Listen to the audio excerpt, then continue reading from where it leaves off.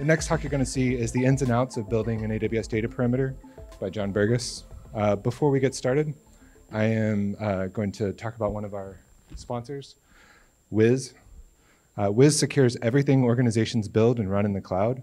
Wiz enables hundreds of organizations worldwide, including 20% of the Fortune 500, to rapidly identify and remove critical risk in cloud environments.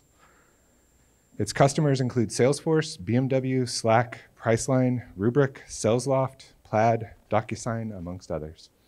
So, thank you to Wiz. Um, without any further ado, I'm going to hand it over to John. Thanks. Thank you. Hello, I'm John Burgess. I'm a cloud security software developer at Stripe. Stripe's mission is to increase the GDP of the internet we do payment processing and a bunch of other things for millions of businesses. Today I'm going to be talking about the ins and outs of building an AWS data perimeter. This topic is way too big for a 20 minute talk, but I will do my best at providing a comprehensive introduction. And now we'll look at our agenda. First, we're going to go through the theory. What exactly is an AWS data perimeter? What does it do, and why do we need it? And then the building blocks. The perimeter is composed of six different controls I'm going to talk about three today and leave the rest for you to read about on your own. Next is the implementation. How can you set up these controls without breaking things, or at least in a way that breaks as few things as possible? And then finally, I'll wrap it up and send you on your way with some of the resources I found helpful. Let's start with the theory. The perimeter is a set of guardrails to control access to the boundary of your AWS organization.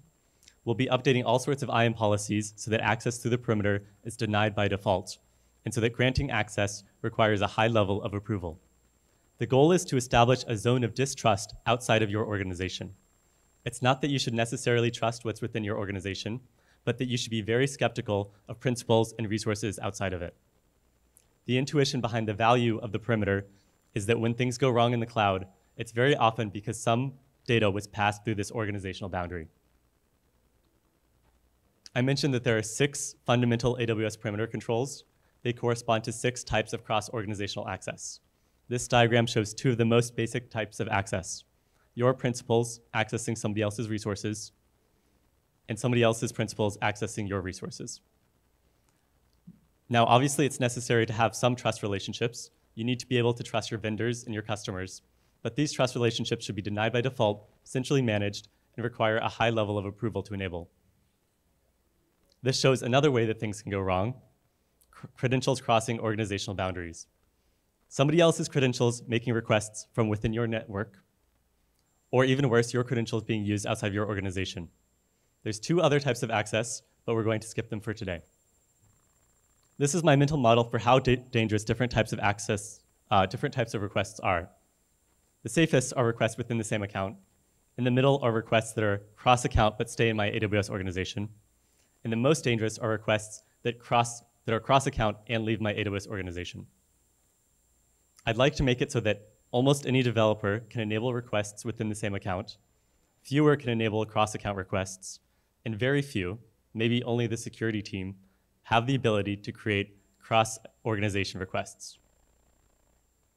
But the problem is that IAM policy evaluation has only two buckets of requests, requests within an account and requests across accounts requests within an account succeed if there's an allow in the principal or in the resource for most types of resources. Requests across accounts succeed if there's an allow in the principal and in the resource. But it doesn't matter if the other account is within your AWS organization or not. In either case, the trust relationship is created the same way. We should trust accounts outside of our organization less than accounts within it, but AWS does not make this the default. This is the goal of the AWS data perimeter, to draw a line between cross-account requests within our organization and cross-account requests outside of our organization. This requires us to add a set of controls that will block cross-organization requests by default. Next, we'll go through the building blocks of the AWS data perimeter. I'm going to go through three of the six basic perimeter controls, one service control policy, one VPC endpoint policy, and one resource policy. First, we'll look at preventing credential exfiltration. Your IAM role credentials have left the building, they've been exfiltrated outside of your organization, and they're being used to make requests outside of your network. We have the opportunity to create a control to tie these credentials down to your network in order to block this. But how does this happen? What is the most common ways that IAM role credentials are stolen?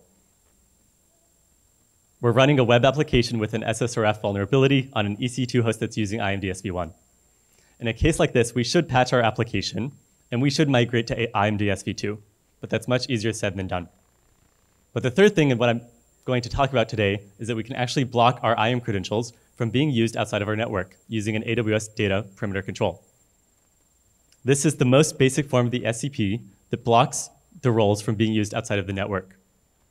We're going to deny all actions on all resources if all four conditions are true. The first condition is going to help me target only my EC2 instance roles. The minimum level of granularity for SCPs is the entire account, and it's unlikely that you want all roles in your account to be tied to your network. So we use the principal ARN condition to specify the roles that we want to lock down.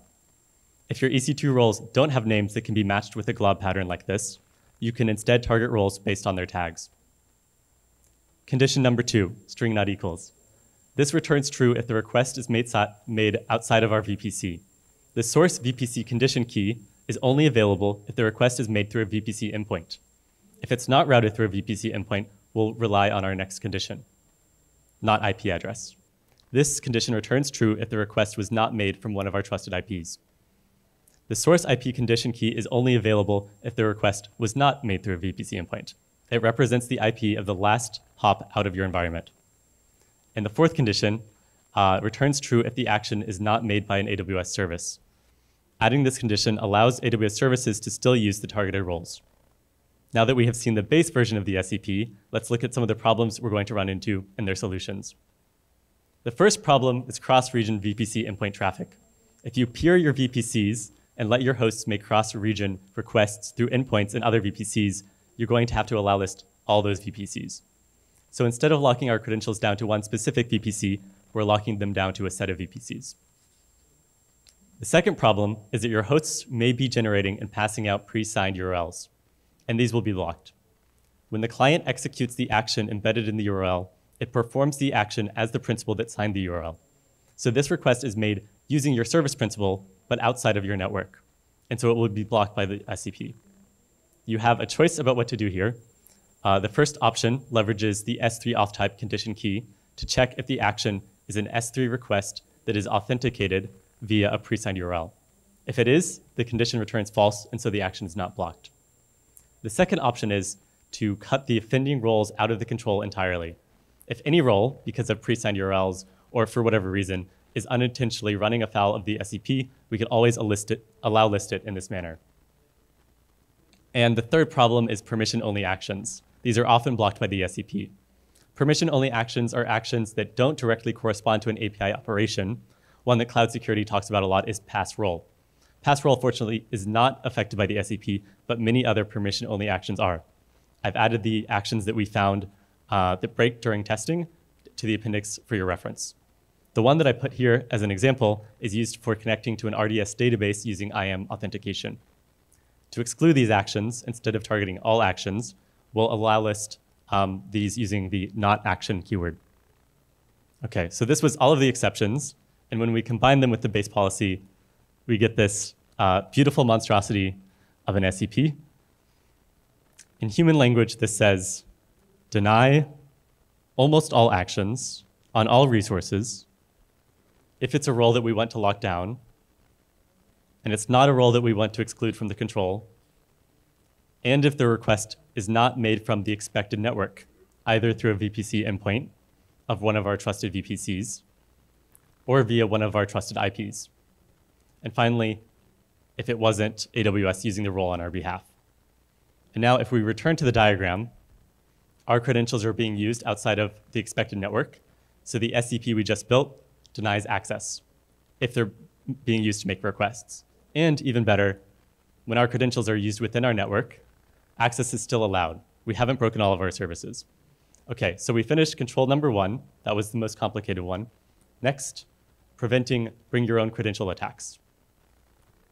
This is the opposite problem of credential exfiltration. Instead of an attacker pulling your credentials out of your network, they're using their own credentials within your network in order to exfiltrate data. In this picture, we don't own the principal or the resource, so we can't add policies there, and an SCP will not help us. But the request is being routed through a VPC endpoint, and so we can create a VPC endpoint policy to block the action. The default policy has no restrictions at all. VPC endpoint policies are similar to permission boundaries in that they don't ever grant permissions. This policy of allow star star star just represents the upper bound for, uh, for what requests can perform. The solution here is pretty simple. We add a condition that requires the principal to belong to our organization. If it doesn't, the request is denied. This only affects requests routed through this specific endpoint. You'll have to apply this to every endpoint. And that's just one type of egress to lock down. Now, a couple of things to look out for. The first thing is that it's uncommon, but some vendor integrations require that their external principals work within your network and use your endpoint. If this is the case, then you'll have to make an exception for those principals or for those endpoints. The second thing is that not every type of VPC endpoint supports custom endpoint policies. For example, the CloudTrail endpoint does not support custom policies. For these endpoints, their policies cannot be changed from full access. And the third thing, and it's kind of a weird one, but specifically for the EC2 endpoint, if you add a custom policy, this may cause some failed API requests to not be logged to CloudTrail. And now we'll look at the third control, preventing external data access. That is, only identities I trust can access my resources. Here we have a resource that we want to be private. We expect, to be, uh, we expect it to be shared only within the AWS organization. But somebody has added a trust relationship to an external principal.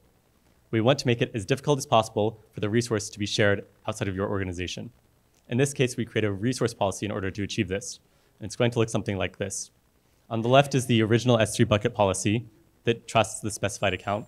And on the right, we've modified the policy by adding a new statement that explicitly denies requests from principals outside of our organization. And now the account will be blocked if it doesn't belong to our organization. If it does belong to our organization, then there's no impact on its requests. This example uses an S3 bucket policy, but you can add a similar statement to any resource policy.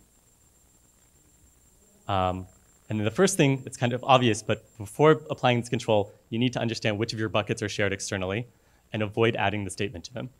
And the second thing is that sometimes you want to have AWS accessing your resources. In this, case, in this case, you want to make an exception for AWS principals using this condition key.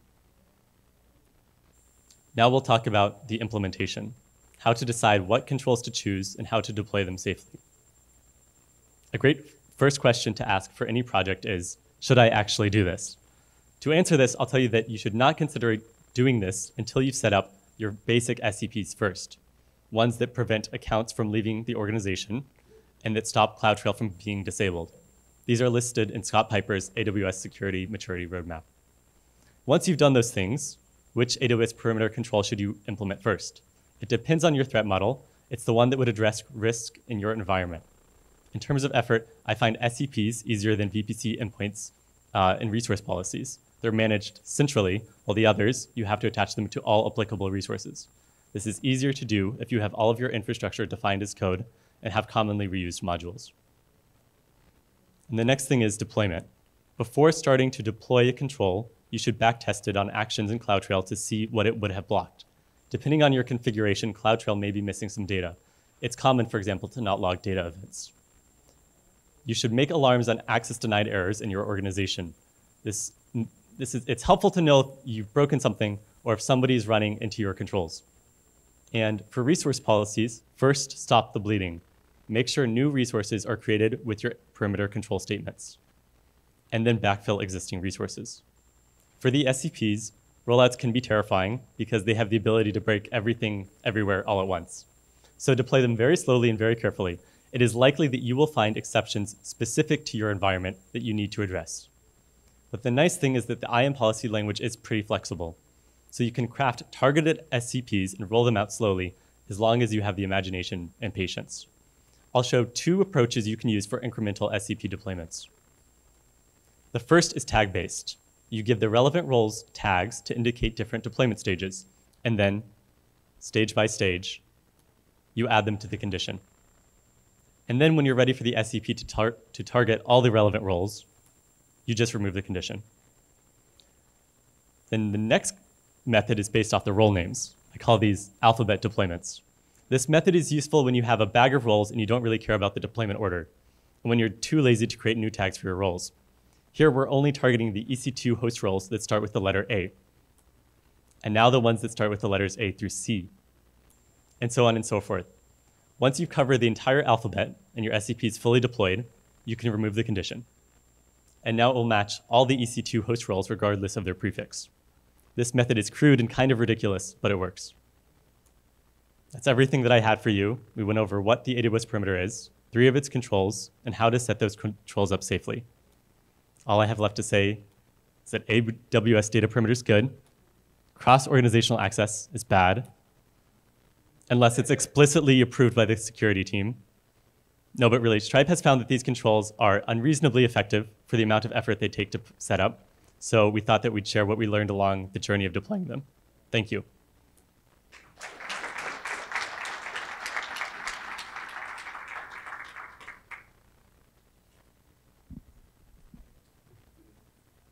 Uh, sorry. Anyone have questions from the audience? All right.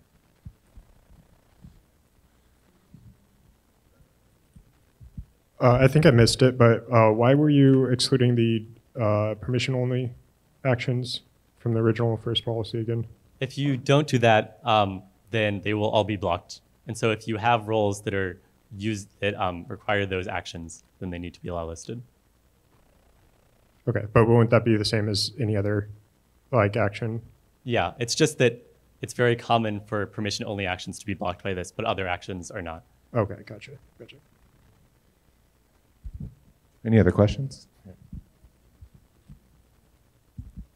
Uh, you mentioned that Stripe found these to be um, really valuable for the amount of effort involved. Uh, can you share anything about how you measured the effectiveness of these and, and sort of differences you saw before and after putting them in place? Yeah, well, so it, it, it depends on, um, we thought of specific scenarios that we were afraid of happening and different ways that we could block that from happening. Um, and then we chose the one that sort of required the least amount of effort in order to uh, block the potential risk.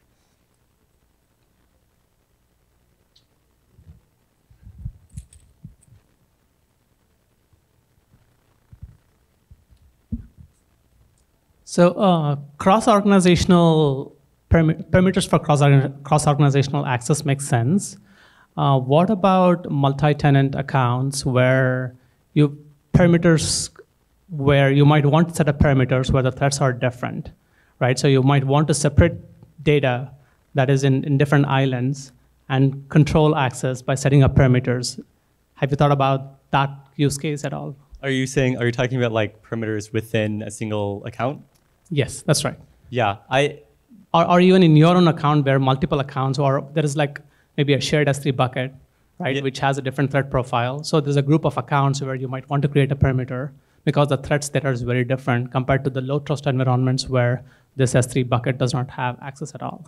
Yeah, this is a really great natural extension for these controls. So the, the ones that I've shown are applied to the organization, but you can apply similar controls to a set of an accounts, to an OU, um, or to a specific account that you want to uh, reduce access to.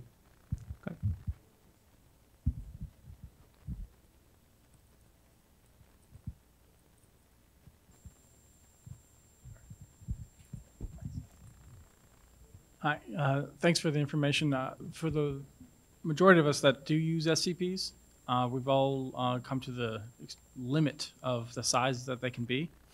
So have you come up with a a framework to decide what makes it in, what doesn't? So we've been able to shove everything that we want into our SCPs. Something that we found is helpful is even if you have a single account, you can put it in its own OU, and then you can apply five extra SCPs to it.